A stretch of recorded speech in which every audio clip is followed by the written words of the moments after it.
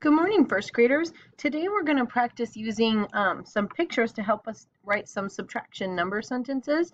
So when we subtract, we always, always, always write the biggest number first, which we like to call the whole. So if you have some Play-Doh, now is a great time to pause this video and go grab some Play-Doh.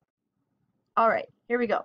So I'm going to start by using my Play-Doh pieces. I have them rolled into balls, and you are going to follow along with me as we tell a number sentence. Are you ready for this?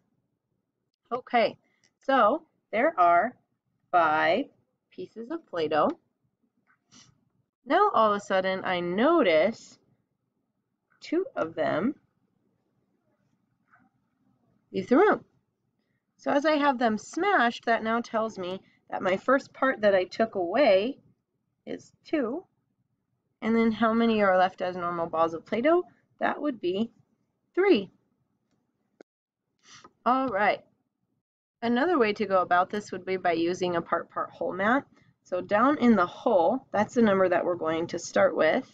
Let's see. Count with me. I have one, two, three, four, five, six, seven. Very good. So let's say we are going to cross out two. I'm going to smash two pieces of Play-Doh.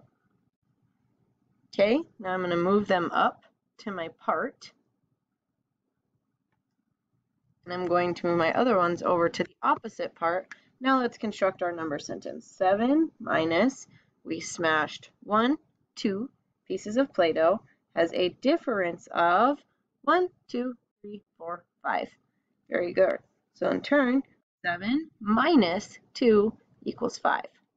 All right, so in your math lesson today, you're going to be doing chapter 2, lesson 3. It's going to show you pictures, and we're going to start by counting that biggest number, so the whole, to tell how many we have in all. Because when we subtract, we take away and our number always, always, always gets smaller. Nicely done.